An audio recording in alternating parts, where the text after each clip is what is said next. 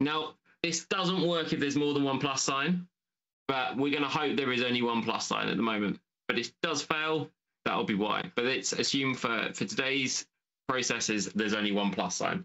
Mhm. We could actually filter. I'm sure we've got some other options actually. We could filter, instead of filtering for the plus sign, as that, yeah, let's filter for contains Duncan.boing Okay. or Duncan.boing plus. It's filter for that. So it's only going to pick out the email address for that. So we're going to filter. Then we will have a single email address left that we can then process through. How does that Yeah. sound? That sounds good to me. Awesome.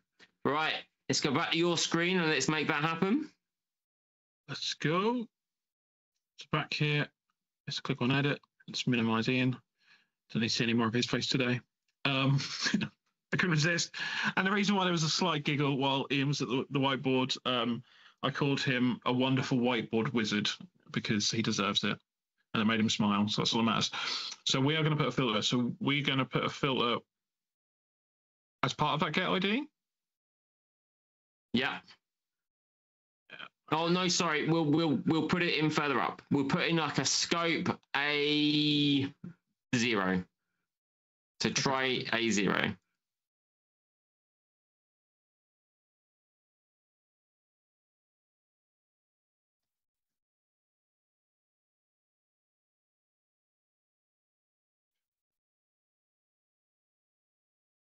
And what is going on? And then what you need to do is you need to do a compose. And we're going to grab that email field. I'm going to make it all caps. So they get the FX, and uh, do toUpper. Just type toUpper. Yep. I mean, you could do lower if you wanted to, but toUpper, open brackets.